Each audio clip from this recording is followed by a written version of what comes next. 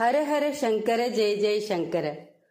ஒரு வைஷ்ணவ குடும்பத்தை சேர்ந்தவாளுக்கு மகாபெரிவா கிட்ட ரொம்ப பக்தி இருந்தது. ஆனாலும் அவளோட பிராரப்த கர்மாவால அவளோட குடும்பத்துல ஏகப்பட்ட கஷ்டம். அவளுக்கு தெரிஞ்ச ஒரு தீக்ஷதர் குத்து விளக்குல சரஸ்வதி லக்ஷ்மி பார்வதியை ஆவாகனம் பண்ணி தினமும் பூஜை பண்ணிட்டு வந்தா கஷ்டம் குறையும்னு ஒரு பரிகாரம் சொன்னார். அவர் சொன்ன மாதிரியே அந்த வீட்டு அம்மா விளக்கு பூஜை பண்ணிட்டு வந்தா. ஒரு நாள் ஒரு பரதேசி அந்த வீட்டு முன்னால வந்து நின்னார். அவருக்கு அந்த பெண்மணி ஏதோ கொஞ்சம் சில்லற போட்டா. அந்த பரதேசி அந்த பெண்மணிய மேலையும் கீழையும் பார்த்துட்டு குத்து விளக்கு பூஜை எல்லாம் உபயோகப்படாது. உன்னோட காலுக்கு கீழே இருக்கிற மூலிகை உன்னோட கண்ணுக்கு தெரியலையே அப்படின்னு சொல்லிட்டு போயிட்டார். அந்த அம்மா அதிர்ச்சி ஆயிட்டா நான் பண்ற குத்து விளக்கு பூஜை இவருக்கு எப்படி தெரிஞ்சுது? காலுக்கு கீழே மூலிகையா அது என்ன? இவர் என்ன சொல்லிட்டு போறார்? ஒண்ணுமே புரியலையே அப்படின்னு குழம்பினா. அந்த பரதேசியோ ஏதோ இவா கிட்ட மட்டும் பேச வந்த மாதிரி பேசிட்டு வேற எந்த வீட்லயும் யாசகம் கேட்காம போயிட்டார். அந்த பெண்மணி ஒன்னும் புரியாம பெரியவாளை தேடிண்டு வந்தா. பெரியவா ஆத்துல ரொம்ப கஷ்டம். குத்து விளக்குல துர்கா சரஸ்வதியை சரஸ்வதி ஆவாகனம் பண்ணி பூஜை பண்ணிட்டு இருக்கேன் ரெண்டு நாள் முன்னாடி ஒரு பிச்சைக்காரன் நாட்டம் ஒருத்தன் வந்தான். குத்து விளக்கு பூஜையெல்லாம் உபயோகப்படாது. உன்னோட காலுக்கு கீழே இருக்கிற மூலிகை உன் கண்ணுக்கு தெரியலையேன்னு சொல்லிட்டு போயிட்டான் பெரியவா. எனக்கு ஒண்ணுமே புரியல. பெரியவா தான் வழி காட்டணும். உங்க ஆத்துல கருந்துளசி இருக்கோ?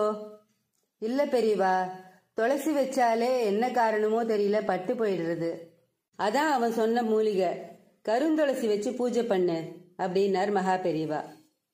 பெரியவாளே கருந்துளசி பூஜை பண்ணுன்னு சொன்னதால கருந்துளசி வச்சு பூஜை பண்ண ஆரம்பிச்சா. என்ன ஆச்சரியம்?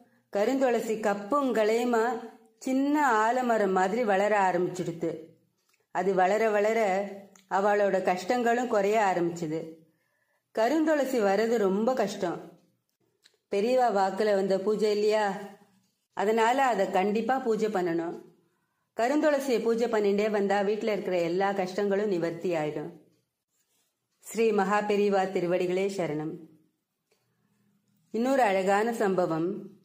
ஒரு முறை ஒரு கோடீஸ்வரர் குடும்பத்தோட வந்து காஞ்சியில மகாசுவாமியை வணங்கிட்டு அவளோட கஷ்டங்கள் எல்லாம் போக வழி சொல்லுங்கன்னு வேண்டிண்டா.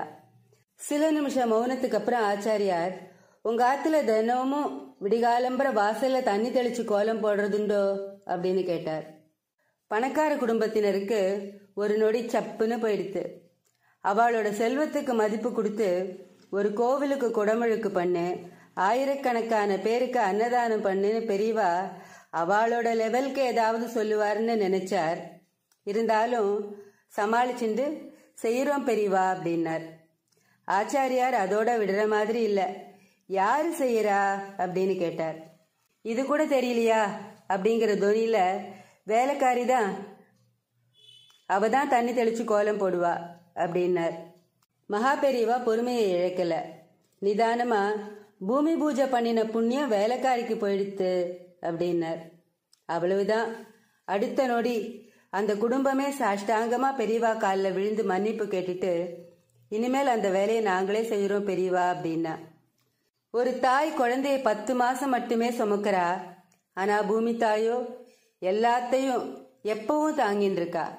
அதனால நாம எல்லாரும் நம்ம குடும்பம் சிறக்கணும்னா பூமி பூஜையை தினமும் நாம்ளே செய்வோமே. ஸ்ரீ மகாபெரிவா திருவடிகளே சரணம். ஹரஹர சங்கர ஜெய ஜெய சங்கர. காஞ்சி சங்கர காமகோட்டி சங்கர.